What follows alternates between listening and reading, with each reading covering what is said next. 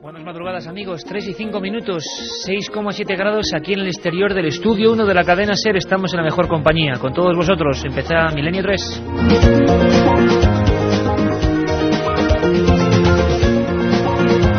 Carmen Porter, buenas madrugadas. Buenas madrugadas, Iker. Menudo programa que tenemos hoy, ¿eh? Hoy va de miedo también otra vez. Bueno, ya sabes que la madrugada suele ser como una montaña rusa. Miedo, a veces, bueno, músicas como estas que yo creo que nos reconcilian con las cosas. Y Carlos Barroso, Katia Rocha, Carmen Porter, por supuesto, este vuestro Iker Jiménez. Y hoy, mejor compañía imposible. Además, eh, doble, doble cabecera ahí en la nave del misterio. Antonio Bravo y Javier Rodríguez.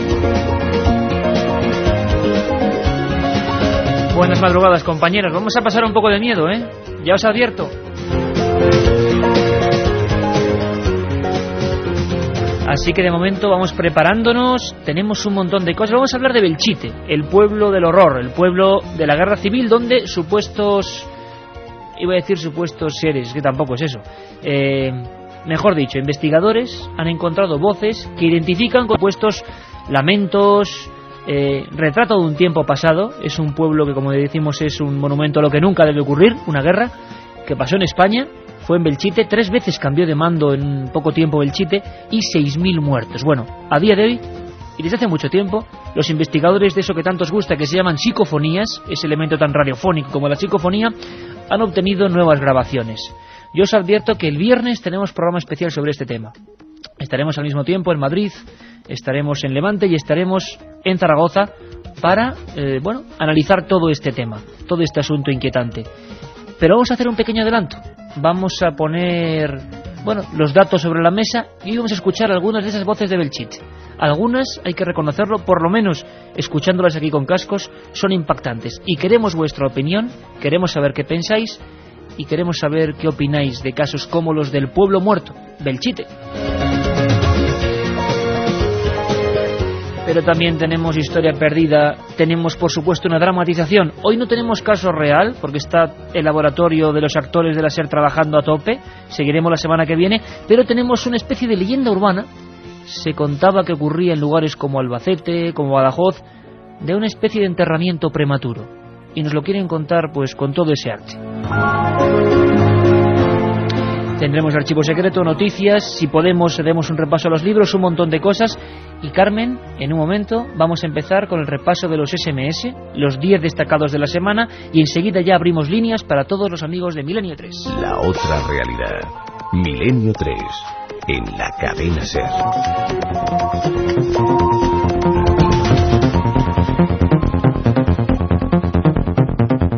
Y además hoy importante porque quienes se escriban a ese 7640 con la palabra milenio, vamos a regalar cinco, si te parece, revistas de más allá con el CD que vienen con esas voces de Belchite.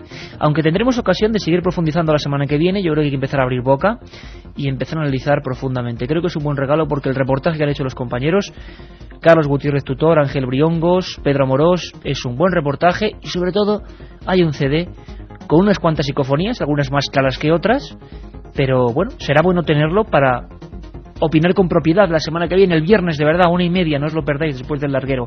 Carmen, ¿vamos con los 10 SMS destacados de la semana pasada?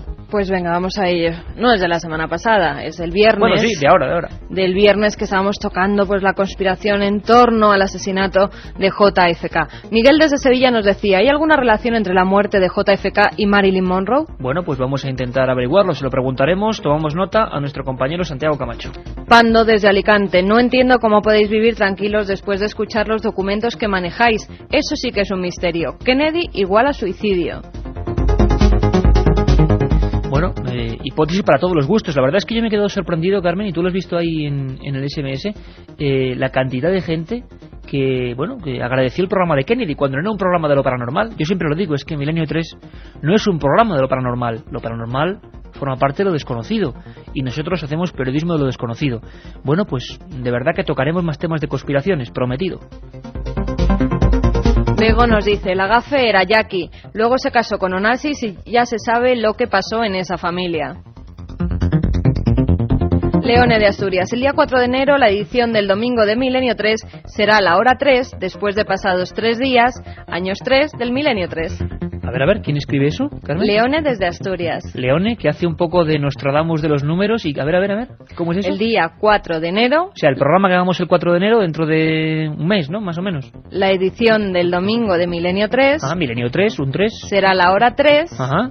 Después de pasados tres días. Ajá. Años 3 Ajá. del milenio. Bueno, del Milenio 3. Miran Antonio Bravo y Javier Rodríguez diciendo, bueno, tenemos hasta matemáticos, ¿eh? Que están por ahí haciendo números. Eh, La numerología es un misterio y por lo menos la casualidad nos ofrece este tipo de, de cosas.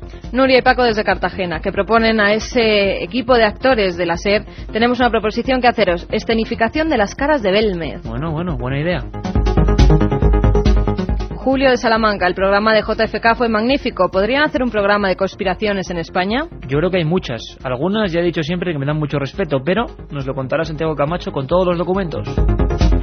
Ya sabéis, por cierto, hoy no porque tenemos tantas cosas que sabéis que vamos turnándonos, pero siempre conectamos, como estuvo aquí el viernes con JFK y todo eso, siempre conectamos con ese eh, pasadizo que tenemos aquí debajo de la cadena SER, ese despacho oculto que nadie conoce más que él, y conectamos con Santi Camacho y los temas de la conspiración. Lo haremos el domingo que viene. Y a ese 7640, palabra clave, milenio, espacio y lo que vosotros queráis. Ahora podréis opinar de las psicofonías que vamos a pasar a escuchar. Preparaos, preparaos. Nos ha escrito también David desde Oviedo. ¿Para cuándo el tema de monstruos marinos como el Kraken, el Leviatán, Megalodón, etcétera? Felicidades por el programa. Yo siempre lo digo, no sé, estamos, creo que este es el programa, Carmen 147, creo. Entonces, claro, hemos tocado muchos temas y por fortuna los amigos, a ver si el EGM lo dice, se están incorporando y claro, eh, piden temas que ya hemos tocado. Es más, el tema del Kraken, pues queda mal decirlo, pero fuimos los únicos que estábamos en el barco persiguiendo al Kraken en España, en las costas de Asturias. Volveremos a tocar el tema y te prometemos zoólogos de gran altura y de gran profundidad, como el caso de Fernando González Siches, porque ¿qué te parece, Carmen, un tema sobre un misterio real, el abismo? Los animales increíbles que de verdad existen a 4.000, 5.000, 6.000 metros. Buen tema, ¿eh? Eso sí que son extraterrestres, Iker. Manolo de Zaragoza, por favor comentad la fecha del programa en directo de Madrid, si puede ser el domingo. Felicidades por el programa. Eh, bueno, tenemos, estamos preparando una idea de que, por lo menos en los especiales que seguro que hacemos en Navidades, pues que vengáis aquí al estudio 1 de la cadena SER y compartáis con nosotros pues este ambiente que siempre de madrugada, esta penumbra, el piano, las sillas, este lugar tan especial para nosotros. Lo daremos, bueno, con cierta antelación, tanto aquí como en ikerjiménez.com, la página amiga de este programa, daremos punto por punto eh, las fechas y los datos si podemos llevar todo eso a cabo. Javi desde Jaén, me gustaría contaros mis vivencias y algunas curiosidades acerca del Cerro de la Virgen de la Cabeza. Ah, el tema de Me Belmez. gustaría poderoslo enviar por correo, pero no sé dónde. Pues nada, Javi, ahora mismo te damos la dirección. Calle Gran Vía número 32, octava planta, 28013 de Madrid, a la atención de Milenio 3. No puede seguir sin hacer un programa sobre viajar en el tiempo. ¿Para cuándo trataréis los crononautas? Nos dice Ángel desde Cáceres. Crononautas, bien, bien, tomo nota. Por cierto que hoy eh, he visto en vídeo, eh, hoy no ha habido mm, este programa Planeta Encantado de JJ Benítez. Nos el lo miércoles... además, sí, a nada, nada, que 7640. no lo han quitado, no lo han quitado. No. Quiere decir que la televisión española cada mes hace una reposición de cine. Desayunamos con Juanjo Benítez el miércoles. Carmen y yo. Le vimos fenomenal porque mucha gente nos pregunta por su estado de salud. Le vimos fenomenal, investigando como siempre. Y Tiene mira, las pilas puestas, sí, Juanjo, ¿eh? es un fenómeno, es, es inimitable. Echándose a la carretera para investigar más casos e ilustrarnos con sus magníficos libros. Y Iker. sabéis que de vez en cuando estará por aquí, se paseará por aquí las madrugadas. Claro que sí, Juanjo siempre ha estado siendo parte de este programa. Y hablando de crononautas, he vuelto a ver el programa que le hizo sobre Colón magnífico en ese planeta encantado y hablaban del prenauta, qué nombre más maravilloso, de un marino que había viajado a América antes que Colón y que Colón se hizo dueño de su secreto. Bueno, os propongo aparte de ese tema otro maravilloso, antes de Colón. Es uno de los temas que quiero hacer, pero ya. Bueno, abiertas las líneas, Carmen, cinco revistas de más allá, con cinco CDs, eh, además con un detallito especial, dedicado, eh, de las psicofonías de Belchite, del tema de Belchite, con ese dossier especial. Y ahora, si nos lo permiten nuestros compañeros, vamos a cambiar de escenario musical y nos metemos mm, en un mundo de, no sé cómo decirlo, inspirado en los pueblos muertos. Un viaje en busca del misterio. Milenio 3. En la SER.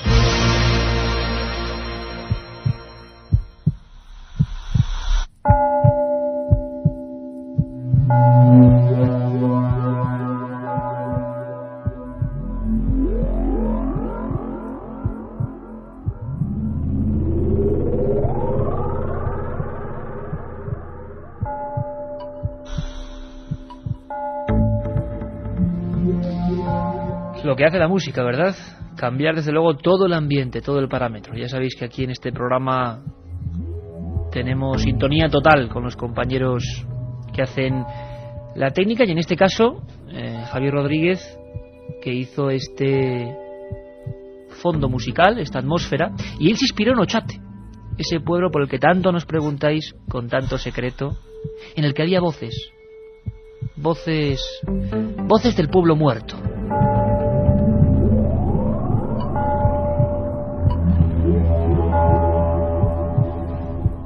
Campana de Ochate, dicen que hubo una campana que se robó, esas voces que salían, Carmen, como susurros. Nos preguntan mucho por Ochate y haremos un programa sobre Ochate. Estuvimos en Ochate, ya contaremos lo que pasó.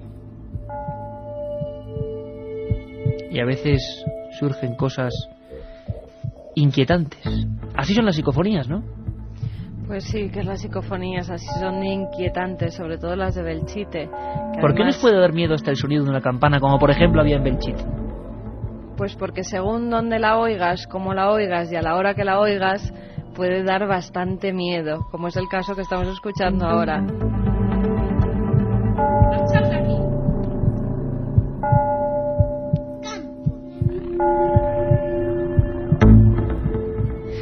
De momento nosotros no nos vamos a marchar de aquí porque tenemos que hablar de Belchite. Belchite, un pueblo a unos 40 kilómetros de la capital aragonesa. Vamos a dedicar, repito, el programa del próximo viernes especial, no os lo podéis perder. Sabemos que hay mucha gente que solo oye madrugada o solo oye viernes. Hagamos un esfuerzo porque ese sí que va a ser, después de la conspiración de JFK, programa policial y de intriga, programa de miedo la semana que viene. Y ahora adelanto. Tres batallas, seis mil muertos. ¿Cómo podemos describir Belchite? Pues como un monumento al horror, he dicho antes. Se dejó piedra sobre piedra para que la gente dijese bueno, esto es lo que nunca hay que volver a hacer, ¿no? Tres bandos distintos, muertos de todos los colores, de todas las sangres. Las calles siguen igual. Todavía hay ganchos de carnicería en las paredes donde se colgaba la carne. Todavía hay escuelas con los pupitres. Todavía hay casas, Carmen, donde quedan los platos de aquellos días de los años 30.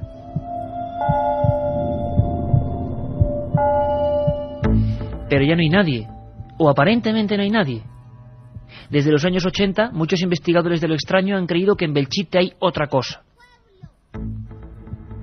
Otra cosa en esa especie de pueblo maldito para muchos.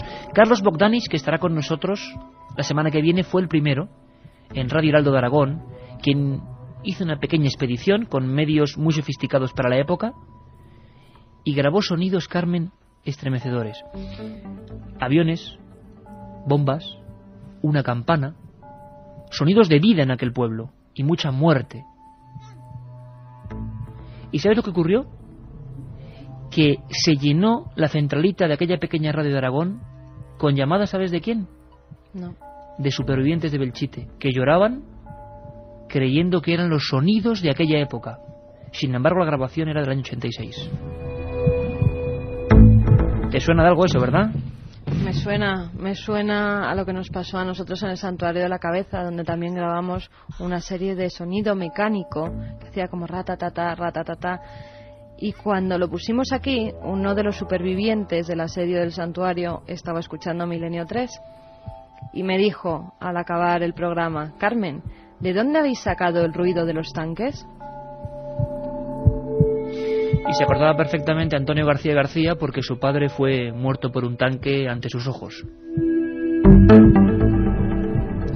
Como para olvidarlo.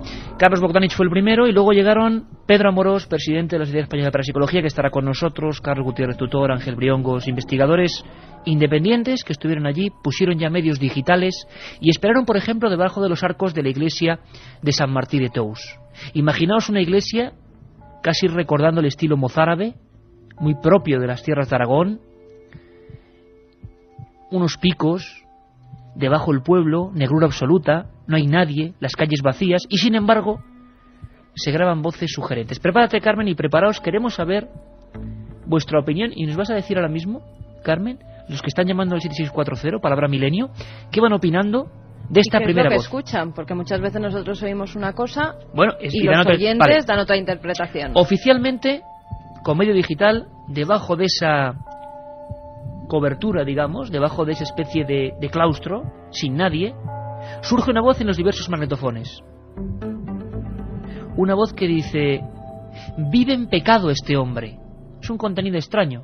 Vive en pecado este hombre. Mi experiencia hace poco, escuchándolas ahí fuera, ese con los cascos es increíble. Espero que en el receptor ya estéis en la cama, bueno, ya estéis vigilando un lugar, ya estéis rodando por las carreteras de España en vuestro oficio, en una gasolinera, haciendo el pan, lo que sea, cualquier oficio de estos sacrificados oficios de la noche.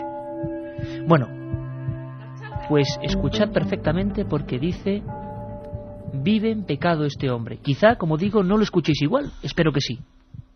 Ahí va la primera andanada, nos lo ponen nuestros compañeros, está repetida en tres ocasiones. Vive en pecado este hombre.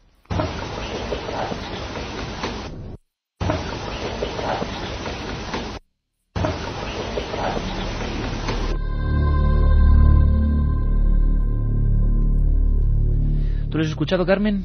Sí, se oye además Como un susurro, bien. ¿no? Sí, susurrando además esas palabras y muy rápidas, como encadenadas unas con otras. Vive en pecado, este hombre. Y como anciano. Yo en un principio pensé en una voz de mujer, pero suena anciano. Y la verdad es que con los cascos, claro, y con el nivel de pureza con el que llegan aquí las voces, a nosotros nos parecen bastante más claras que al principio, cuando lo oíamos a, con un receptor. Vamos, antes de saber lo que opinéis, vamos a poner por segunda vez la voz psicofónica. Belchite, año 99, mes de diciembre, ahora hace cuatro años, vive en pecado este hombre.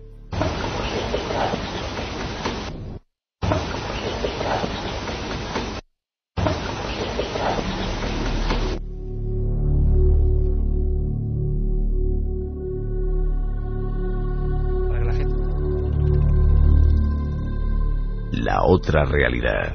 Milenio 3. En la cadena Ser. comentaba que la gente quizás tenga su opinión.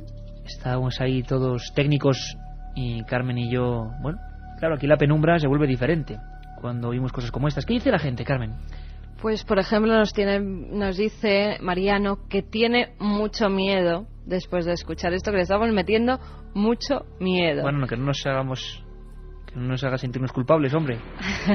También nos dice Rafa, me vais a matar con estos horarios, llevo mucho tiempo durmiendo, solo tres horas para poder oíros y el lunes, pues a trabajar, que es lo que le toca. ¿Alguien interpreta lo que son las voces, el tipo de voz? Pues a ver, que nos están llegando ahora, porque esto va un poco lento. A ver, ¿es cierto que si pones una grabadora de noche en un cementerio por la noche se oirán voces? Nos pregunta Juan desde Reus. Bueno, parece ser que no está para nada confirmado. Es más, los investigadores del tema psicofónico aseguran que es al revés, que en un sitio tranquilo como un cementerio apenas ocurre nada. Sin embargo, en lugares luctuosos, en lugares de dolor, en lugares de tragedia, hay cierta conexión. Por lo menos los- las voces más clásicas han salido ahí. Fíjate, Alberto desde Barcelona nos dice, a mí me suena a voz femenina mayor. Fíjate, yo también pensaba eso, voz femenina mayor. Aquí con los cascos, os repito, igual escuchándolo diferente que vosotros, yo lo digo más como un anciano, fíjate. Romina de Zaragoza, yo he estado paseando entre las ruinas de Belchite y me habéis dado ganas de no volver más. Bueno, pues como lo veis solo un adelanto, vamos a ir con otra voz captada en esa misma sesión psicofónica, Ángel Briongos, Pedro Amorós. Hay muchos más investigadores, Carlos Gutiérrez Tutor, Jesús Fabón, mucha gente que ha estado en Belchite, porque desde luego si encontramos un escenario del drama, mejor que ese imposible. Es una voz que es muy curiosa, Carmen, quizá por el método digital con el que se ha sacado. A ver qué opina la gente. Es una voz mucho más metálica, al menos eso me parece a mí. A diferencia de ese susurro como de un anciano que hemos visto, es una voz metálica. Y los compañeros que saben de sonido, y lo hemos hablado muchas veces, saben perfectamente que no es una voz como la que yo ahora estoy profiriendo a un micro. No sé, es distinto, es como en una capa inferior, como en una capa, dicen los expertos que es como si utilizaran la energía o la fuerza del sonido de fondo y se mezclan ahí, pero no es una voz directa. Si yo quiero hacer una psicofonía y digo, vive en pecado este hombre, ¿se grabaría así? No de esa forma que se graban las psicofonías. Carmen, escuchamos muy atenta. Fijar qué, qué contenido, fíjate. Debajo de la iglesia San Martín de Tours, plena noche, invierno, Belchite, año 99, en los diversos minidisc, silencio total, muy lejos de cualquier núcleo habitado, no hay más que una vida. Eso dice esta voz, muy metálica. No hay más que una vida.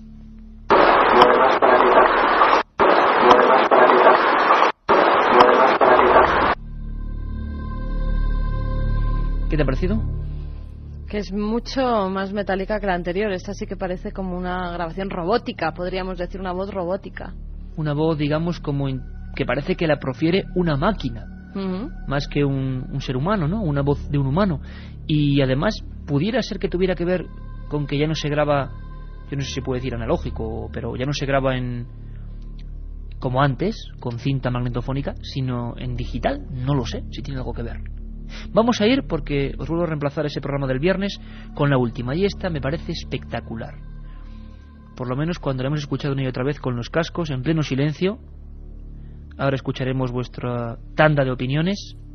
Fijaos qué contenido. En Belchite murieron 6.000 personas. El viernes tendremos historiadores que nos van a contar cuál fue la dimensión de la tragedia de verdad. La última psicofonía que graban allí los investigadores tiene un mensaje espectacular, sea quien sea, sea lo que sea quien la produzca. Fijaos que es que además le encontrábamos parecido con algún personaje importante. A algunos le sonaba la voz de Franco, hmm. que, es, que es muy curioso, le sonaba la voz de Franco lo que viene ahora. Bueno, opiniones, cada uno tiene las suyas. Pero el contenido es increíble. La última psicofonía obtenida de Belchite dice rendiros. Es como un susurro, es clarísima. Sonido de fondo y lo rompe un rendiros que además cuando lo hemos analizado en el ordenador se ve perfectamente cómo entra la voz. Belchite, la tragedia, rendiros.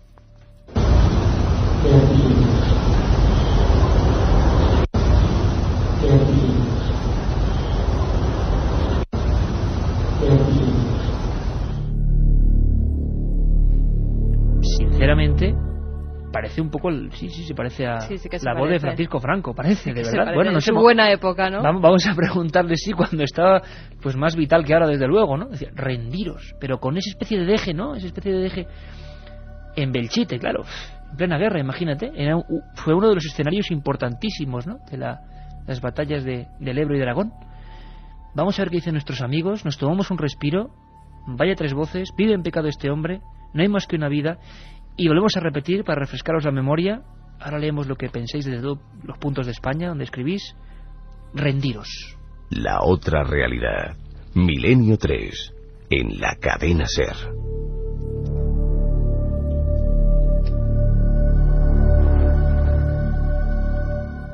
Volvemos a escuchar esa voz, como os he prometido, rendiros.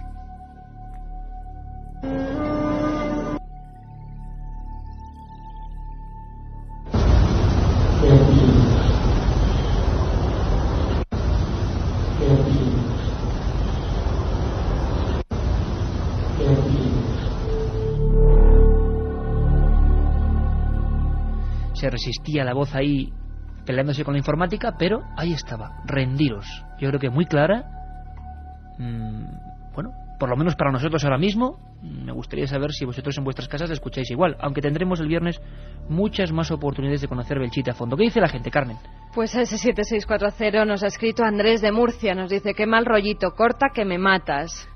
Después otro amigo nos dice, Iker, parece como si el ser que decía esta voz la dijera al lado del micrófono. Es increíble. Es increíble, ¿verdad? Mm. Sin embargo, si le escuchamos, le hemos escuchado varias veces, no vamos tampoco a abusar del tema, sí, pero es como un susurro, no, no es exactamente que como yo, si me pongo aquí mismo delante de este micrófono amarillo de la SER, digo, rendiros. Es que no es lo mismo, es, aunque es mucho más clara que las otras, es como en un segundo plano.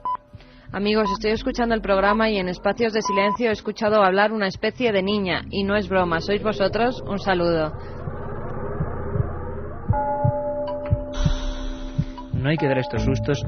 Yo se lo decía a Javier Rodríguez que era un experimento psicológico.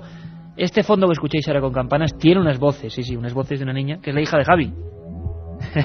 hay que decir que es una creación de nuestro amigo, inspirándose en Ochate, y esa voz que dice cámpora o polo maldito, que estoy seguro que sonará en Ochate, se refiere a las psicofonías auténticas de Ochate, que decían eso, pándora o cámpora, ahí está. ¿eh? Y este latido de corazón, el latido de corazón que dicen que se escuchaba en Ochate, pero desde luego es una creación de nuestro compañero, ya sabía yo que alguno se le iba a helar la sangre con todo esto, pero eso no son psicofonías, son recuerdos de psicofonías que viajan pues en el aire. Alfonso desde Vizcaya, impresionante. Os escucho a través de Digital Plus, el sonido es perfecto. Me parece una voz anciana, no podría precisar el sexo. Qué interesante, la última se refiere a rendiros, ¿no? La más espectacular. Joseph de Ceuta nos dice Iker, mientras hablabas antes de poner la psicofonía, me ha parecido escuchar repetidas voces. Me ha, me ha sorprendido. Comprobad si era algo vuestro. Sí, sí, sí. En este caso es algo nuestro. Y no es trampa, es simplemente ese fondo que se llama Ochate, que se va a hacer célebre ya en su primer día de Fíjate, otro amigo que nos escribe nos dice, tengo una cinta grabada en Belchite el 12 del 12 de 1989, Ajá. en la que salen voces, tiros, bombas y No una puede ser. campana, pero en Belchite no hay campanas. No puede ser. Pues sí, ¿Quién es este amigo? no lo firma. Por si favor. podéis firmar los Por mensajes, favor, vamos a intentar mejor. ponernos en contacto con él. Ujú. De verdad, compañero, amigo, porque nos gustaría mucho escuchar esas voces. Te podríamos enviar un mensajero o lo que fuera y contar contigo para el programa del viernes. Queremos que todos los investigadores que de verdad hayan estado ahí en Ochate y hayan tenido pruebas estén con nosotros en ese viernes tan especial. Si puedes enviar nuestro mensaje con tus datos o intentar, Carmen, nosotros llamar a ese teléfono que viene, Mm. por supuesto no ahora, pero a partir de mañana, tanto Carmen Porter como nuestra productora Katia Rocha se pondrán en contacto contigo. Una cinta de vídeo, se refiere. Me imagino que será una cinta grabada Ah, pensé de... que era una cinta de- No, no, una cinta dijiste- grabada en Belchite. Me imagino que será no, no, un cassette. Pues, pues sí, sí, desde luego que sería interesante. A ver si se refiere a la cinta de, de Carlos Bogdanich o la sacó él. Bueno, que no saque de duda si puede, si la sacó él o es la que sacó en su día Carlos Bogdanich, que a Carlos Bogdanich sí le vamos a tener. Pero si hubiera varias cintas, imagínate Carmen, con, voces parecidas, madre mía, parecidas. sería increíble.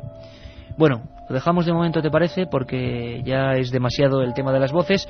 Un pequeño respiro. ¿Qué mejor forma que acudir a la historia perdida? Antes hablamos de Colón. O vamos a presentar un personaje inquietante. Maldito pueblo, dice la niña, por ahí por el fondo. Molière, el autor del Tartufo. ¿Sabes que hay muchos autores, ahora dicen de Shakespeare, de otros, que dicen que hubo auténticas dobles personalidades, que no se sabe quién fue uno y quién fue otro? Eh, hay personajes de la historia, escritores, dramaturgos, como el caso de Molière, que están envueltos en la pátina del misterio y una historia oculta que nunca se, se contó realmente. Y para historia oculta es a quien tenemos, ¿no? ¿Cómo no? A Nacho Ares. Nacho Ares, que acaba de sacar La Historia Perdida 2. No os lo perdáis en el archivo del misterio de edad. Increíble. Nos vamos ahora con Molière, La Historia Perdida. Escuchadme atentamente.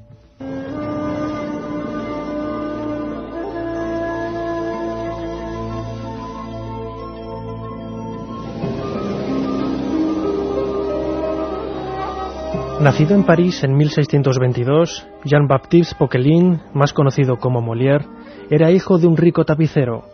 Aficionado al teatro desde niño, con 20 años de edad, se unió a una compañía itinerante recorriendo toda Francia. Poco después, cuando la compañía comienza un declive imparable, Molière realiza misteriosos viajes a París con los que consigue que la compañía llegue a la capital y sea recibida con todos los honores en la corte de Luis XIV.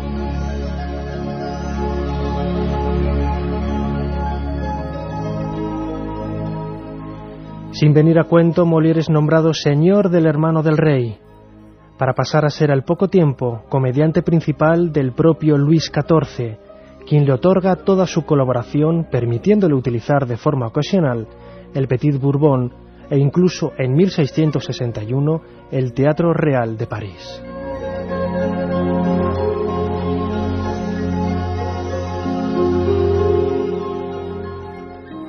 Desconocemos cómo estando bajo la tutela del rey, Molière se tomó la libertad de escribir sin ningún tipo de salvedades contra la aristocracia que junto a él compartía la corte de Luis XIV. Misteriosamente, sus ácidas críticas a los nobles e incluso a los miembros de la familia real no parecían importar al rey ni a los aludidos. ¿Quién estaba realmente detrás del seudónimo Molière?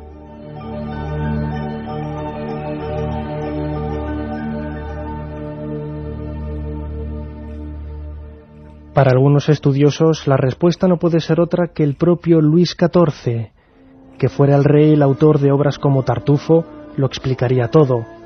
A no poder hacer una crítica abierta de la política esgrimida en la época por el cardenal Richelieu, con estas obras teatrales, el soberano accedía a una serie de prerrogativas que solamente le permitían este arte.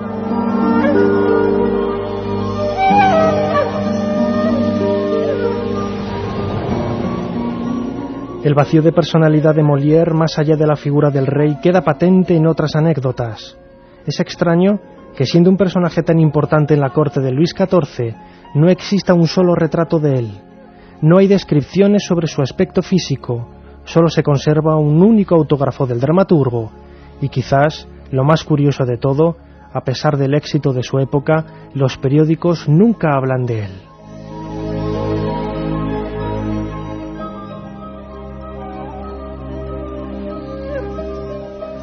A principios de 1673 se estrenó en París El enfermo imaginario. A los pocos días del estreno, Molière fallecía representando su obra sobre el escenario. Iba vestido de amarillo, comenzando así una tradición que nunca más se ha separado de las supersticiones del mundo del teatro, y con él también se marchaba uno de los mayores enigmas de la historia del arte universal.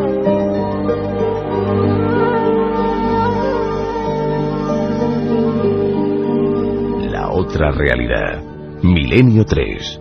En la cadena Ser. 1937. 200 personas mueren trágicamente en el santuario de la Virgen de la Cabeza. 1971 aparece el fenómeno de las caras de Belmez. 2003.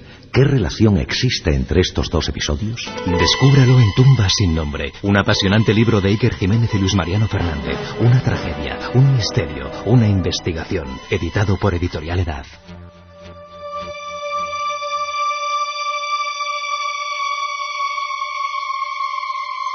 Un viaje en busca del misterio.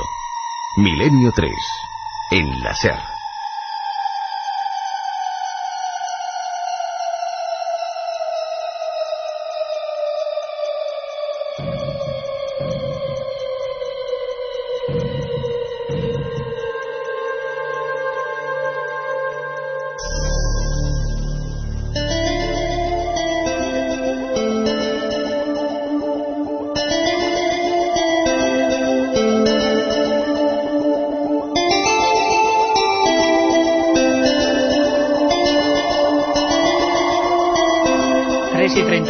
minutos, 6 con 8 con 9, va variando ahora mismo, grados en el exterior de Gran Vía del estudio 1 de la cadena SER. Y este es vuestro programa.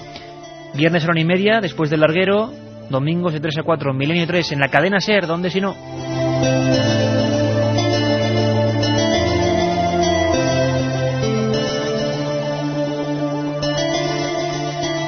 Como siempre, un cúmulo de sensaciones, como yo digo, la montaña rusa de las madrugadas. Pasamos del miedo a la información, a la historia, y seguimos con la historia antigua. Queremos aprender cosas.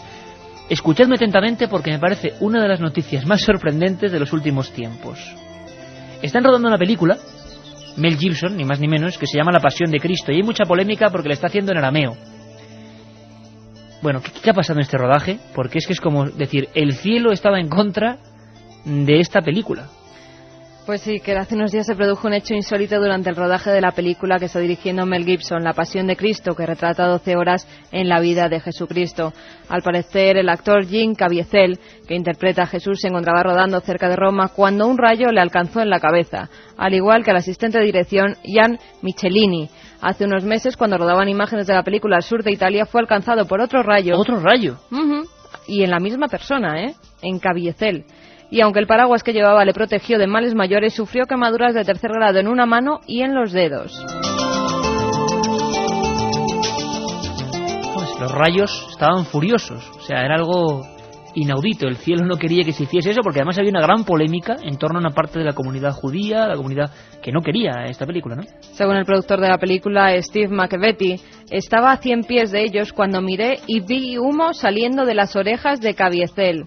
Además, el propio Mel Gibson ha asegurado que han ocurrido muchos sucesos insólitos, cosas buenas como enfermos que se curan de enfermedades, un par de personas que recobraron la vista y el oído, y también a otra persona, se refiere a Caviezel, que le cayó un rayo encima cuando estaban rodando la escena de la crucifixión, pero se levantó y salió ileso.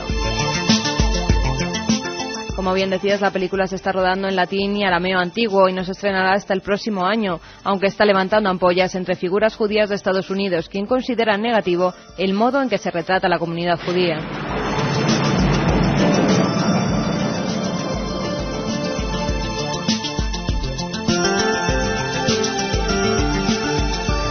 Y a veces, tratándose de Hollywood, pienso, esto puede ser una campaña de marketing, desde luego si lo es, es fabulosa. Pero no hay personas, sí que hay personas que atraen a los Sí, rayos. sí, jo, yo conocí a algunos en las urdes. Y hubo un personaje también además muy famoso, que no sé si fueron cinco o seis veces, que Sí. le cayó un mismo rayo. Y no, y misma no le mató. El último, mató. el último le mató. Bueno, hay una historia No, el increíble. último no. El último, cuando Le ya cayó en estaba en su tumba. le cayó también en su tumba. Es un hombre, creo que irlandés, recuperaremos su historia, le llamaban el pararrayos humano, po- pobre hombre. Y le cayeron varios... Sí, sí, pero es así, Carmen. Verdad Le cayeron varios, risa varios rayos y el último cayó en su hueco de la tumba.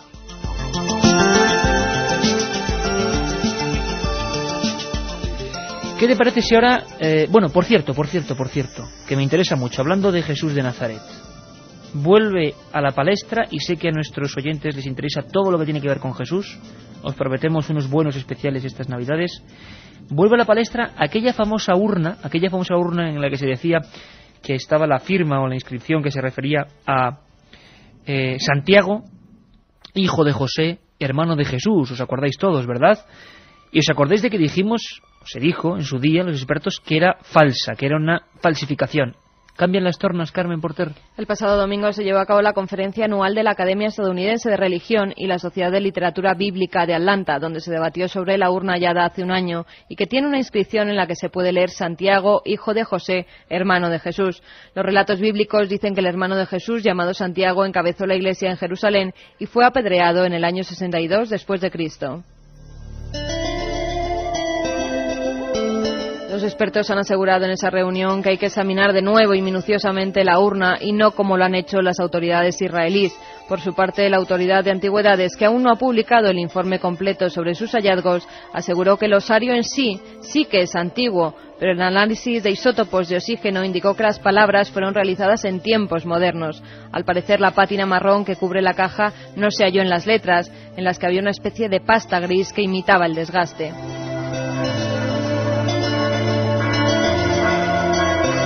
Pero para James Harrell, geólogo de la Universidad de Toledo, la ausencia de pátina no significa que sea una falsificación, sino que ha sido limpiada en exceso.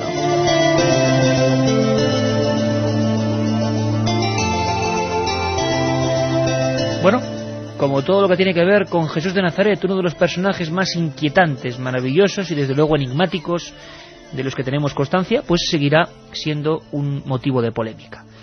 Lo que va a ser motivo para que nos pongamos de nuevo, hoy es un día, fíjate, donde el terror, bueno, nunca se sabe qué va a ser Milenio 3, pero hoy tiene el terror preponderancia. Sabéis que estamos preparando dramatizaciones, que han sido un éxito increíble. Eh, gracias, gracias a todos por vuestros mensajes de apoyo. Esta idea, que repito, surgió entre todos, que dirige a nivel artístico Mariano Revilla, con actores y con personas de la cadena SER que tienen a bien hacer este tipo de recreaciones y empezamos con la historia de la niña de Vallecas. También os echáis la bronca porque decíais que pasabais mucho miedo, pero ahí estaba el caso. Y con las psicofonías novedad de mensajes que nos están Bueno, bueno, llegando y ahora- ahora leemos miedo a la gente. Todos los mensajes 7640, lo repito, palabra milenio y espacio, ¿no? Ujú, palabra clave milenio, espacio y el texto que vosotros queráis. 7640 y esas cinco revistas especiales con el dossier de Belchite de Más Allá, dedicadas y con los CD de psicofonías.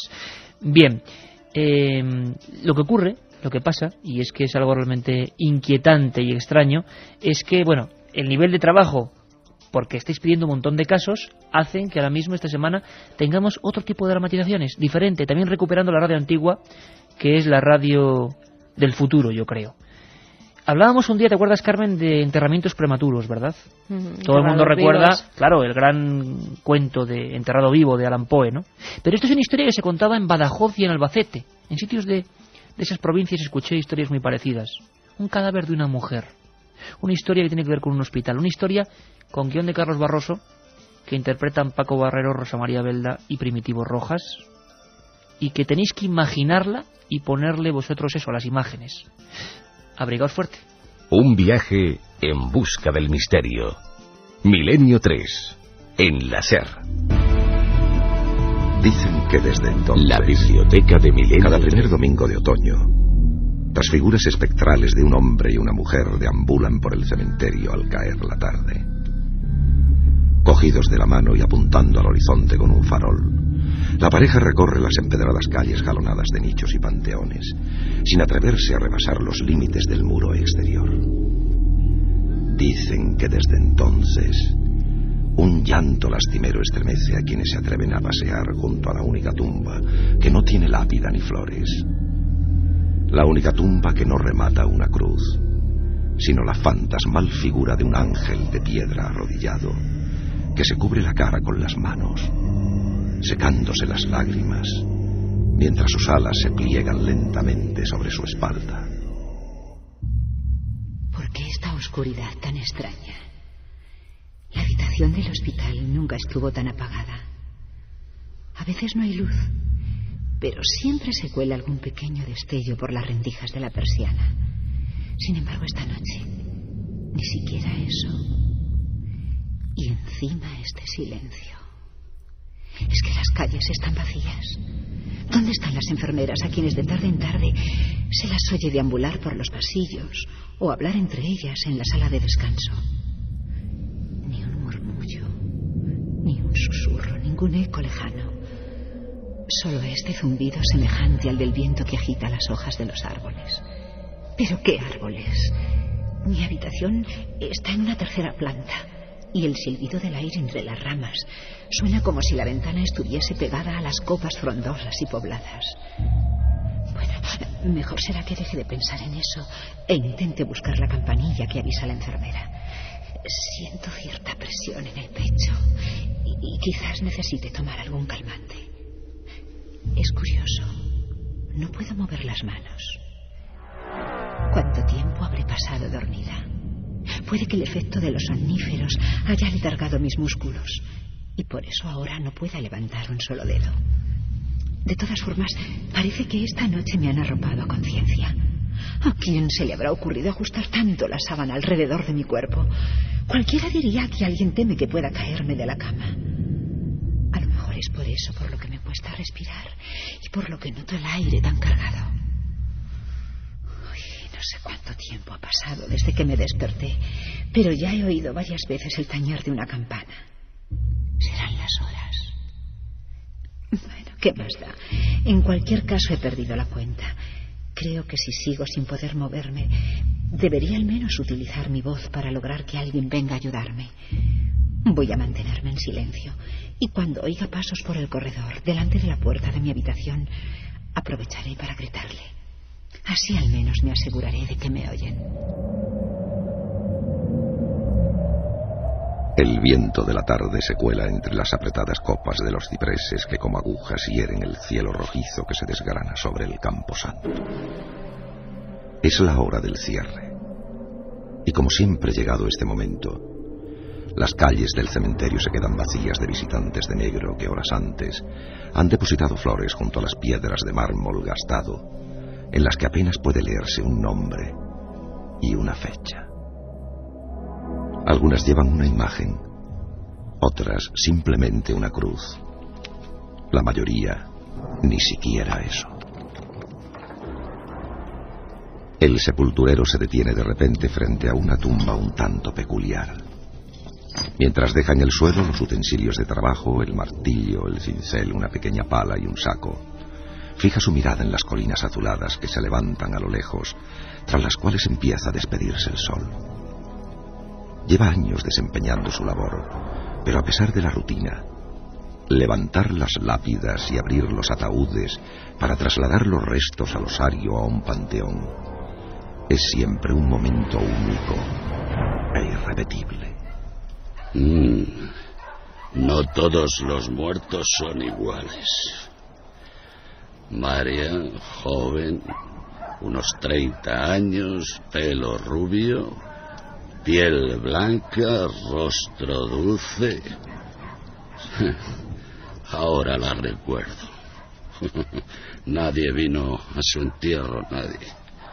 Como tampoco nadie viene ahora a reclamar lo que queda de ella. Pocas veces vi a nadie igual. El rictus de la muerte no se había apoderado de sus labios ni de sus mejillas. Si no hubiese tenido el certificado del hospital, casi casi habría pensado que estaba durmiendo un placentero sueño.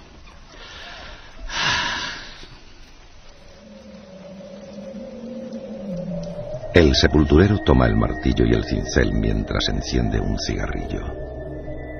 El viento, como siempre en las primeras tardes del otoño, Agita con fuerza las hojas caídas y mueve con saña los sonidos que habitan en el silencio.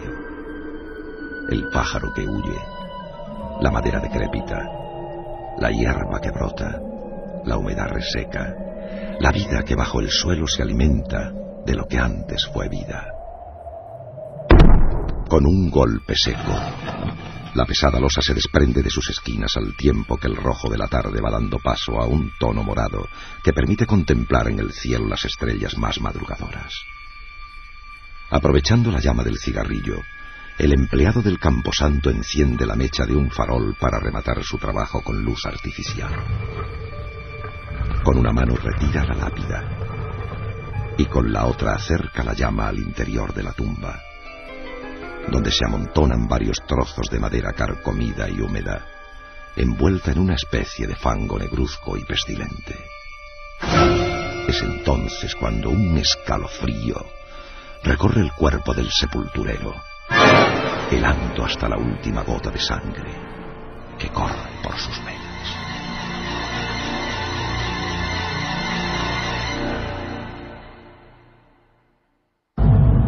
Esta mañana la puerta del cementerio ha aparecido entreabierta, como si toda la noche hubiese estado así.